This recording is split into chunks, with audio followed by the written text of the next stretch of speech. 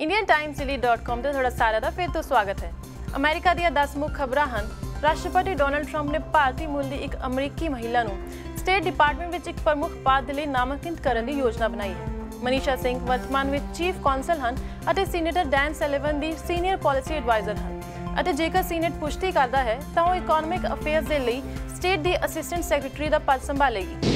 ਭਾਰਤ ਵਿੱਚ ਜਨਮੇ ਮਾਈਕਰੋਸਾਫਟ ਦੇ ਸੀਈਓ ਸਤਿਆ ਨਟੇਲਾ ਦੀ ਪਹਿਲੀ ਕਿਤਾਬ ਹਿਟ ਰੀਫਰੈਸ਼ 26 ਸਤੰਬਰ ਨੂੰ ਲਾਂਚ ਹੋਣ ਜਾ ਰਹੀ ਹੈ ਇਸ ਕਿਤਾਬ ਵਿੱਚ ਉਹਨਾਂ ਦੀ ਆਪਣੀ ਨਿੱਜੀ ਯਾਤਰਾ ਕੰਪਨੀ ਵਿੱਚ ਚੱਲ ਰਹੀ ਟਰਾਂਸਫਾਰਮੇਸ਼ਨ ਅਤੇ ਟੈਕਨੋਲੋਜੀਕਲ ਅਤੇ ਇਕਨੋਮਿਕ ਬਦਲਾਅ ਦੀ ਆਉਣ ਵਾਲੀ ਲਹਿਰ ਦੇ ਬਾਰੇ ਦੱਸਿਆ ਗਿਆ ਹੈ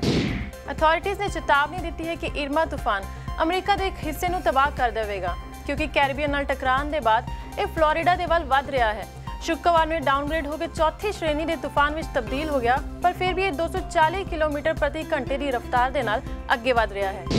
ਰਾਸ਼ਟਰਪਤੀ ਡੋਨਲਡ ਟਰੰਪ ਨੇ HR 601 ਨੂੰ ਕਾਨੂੰਨ ਵਿੱਚ ਸ਼ਾਮਿਲ ਕਰਨ ਦੇ ਲਈ ਸਾਈਨ ਕਰ ਦਿੱਤੇ ਹਨ ਇਹ ਇੱਕ ਬਿੱਲ ਹੈ ਜਿਸ ਵਿੱਚ ਡੈਟ ਦੀ ਸੀਮਾ ਨੂੰ 3 ਮਹੀਨਿਆਂ ਤੱਕ ਵਧਾਇਆ ਗਿਆ ਹੈ 8 ਦਸੰਬਰ ਤੱਕ ਬਿੱਲ ਦੀ ਡਿਵੀਜ਼ਨ B ਹਾਰਵੀ ਤੂਫਾਨ ਦੇ ਸ਼ਿਕਾਰ ਲੋਕਾਂ ਨੂੰ 15.25 ਅਰਬ ਡਾਲਰ ਦੀ ਸਹਾਇਤਾ ਦੇਵੇਗੀ ਅਤੇ ਡਿਵੀਜ਼ਨ ਡੀ ਫੈਡਰਲ ਗਵਰਨਮੈਂਟ ਦੇ ਸੰਚਾਲਨ ਦੇ ਲਈ ਫੰਡ ਪ੍ਰਦਾਨ ਕਰੇਗੀ ਸ਼ੁੱਕਰਵਾਰ ਨੂੰ ਮੈਕਸੀਕੋ ਵਿੱਚ 8.2 ਮੈਗਨੀਟਿਊਡ ਵਾਲਾ ਭੂਕੰਪ ਆਇਆ ਜੋ ਕਿ ਇਸ ਸਦੀ ਦਾ ਸਭ ਤੋਂ ਸ਼ਕਤੀਸ਼ਾਲੀ ਭੂਕੰਪ ਸੀ ਜਿਸ ਨਾਲ ਸੁਨਾਮੀ ਦੀ ਲਹਿਰਾਂ ਪੈਦਾ ਹੋਈਆਂ ਜਿਸ ਨਾਲ ਘੱਟ ਤੋਂ ਘੱਟ 58 ਲੋਕ ਮਾਰੇ ਗਏ ਇਸ ਭੂਕੰਪ ਨੇ ਮੈਕਸੀਕੋ ਦੀ ਰਾਜਧਾਨੀ ਦੇ 600 ਮੀਲ ਤੋਂ ਜ਼ਿਆਦਾ ਦੂਰ ਤੱਕ ਦੇ ਇਲਾਕੇ ਨੂੰ ਹਿਲਾ ਦਿੱਤਾ ਤੇ ਪੂਰੇ ਦੇਸ਼ ਵਿੱਚ 50 ਲੱਖ ਲੋਕਾਂ ਨੇ ਭੂਕੰਪ ਦੇ ਝਟਕਿਆਂ ਨੂੰ ਮਹਿਸੂਸ ਕੀਤਾ ਰਾਸ਼ਟਰਪਤੀ ਡੋਨਲਡ ਟਰੰਪ ਨੇ DACA ਬੈਨੀਫੀਸ਼ਰੀਜ਼ ਨੂੰ ਫੇਰ ਤੋਂ ਆਸਵਾਸ਼ਨ ਦਿੱਤਾ ਹੈ ਕਿ ਉਹਨਾਂ ਨੂੰ ਅਗਲੇ 6 ਮਹੀਨਿਆਂ ਦੇ ਲਈ ਆਪਣੇ ਇਮੀਗ੍ਰੇਸ਼ਨ ਸਟੇਟਸ ਦੇ ਬਾਰੇ ਚਿੰਤਾ ਕਰਨ ਦੀ ਲੋੜ ਨਹੀਂ ਹੈ ਕਿਉਂਕਿ ਫਿਲਹਾਲ ਅਗਲੇ 6 ਮਹੀਨੇ ਤੱਕ ਕੋਈ ਕਾਰਵਾਈ ਨਹੀਂ ਕੀਤੀ ਜਾਏਗੀ ਟਰੰਪ ਨੇ DACA ਦੇ ਲੈਜਿਸਲੇਟਿਵ ਆਲਟਰਨੇਟਿਵ ਖੋਜਣ ਦੇ ਲਈ ਕਾਂਗਰਸ ਨੂੰ 6 ਮਹੀਨੇ ਦੀ ਮੌਲਤ ਦਿੱਤੀ ਹੈ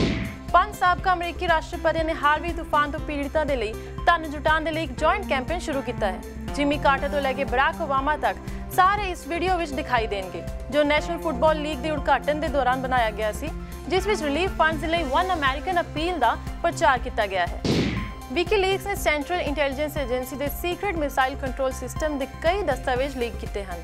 ਇਹਨਾਂ ਵਿੱਚ ਮਿਸਾਈਲ ਕੰਟਰੋਲ ਸਿਸਟਮ ਦੇ ਕੁੱਲ 4 ਗੁਪਤ ਦਸਤਾਵੇਜ਼ ਸ਼ਾਮਿਲ ਹਨ। ਨਾਲ ਹੀ ਪ੍ਰੀਟੀਗੋ ਇਮੇजेस ਨੂੰ ਬਣਾਉਣ ਅਤੇ ਕਨਫੀਗਰ ਕਰਨ ਦੇ ਤਰੀਕੇ ਦੀ ਜਾਣਕਾਰੀ ਤੋਂ ਸੰਬੰਧਿਤ 37 ਡਾਕੂਮੈਂਟਸ ਵੀ ਸ਼ਾਮਿਲ ਹਨ।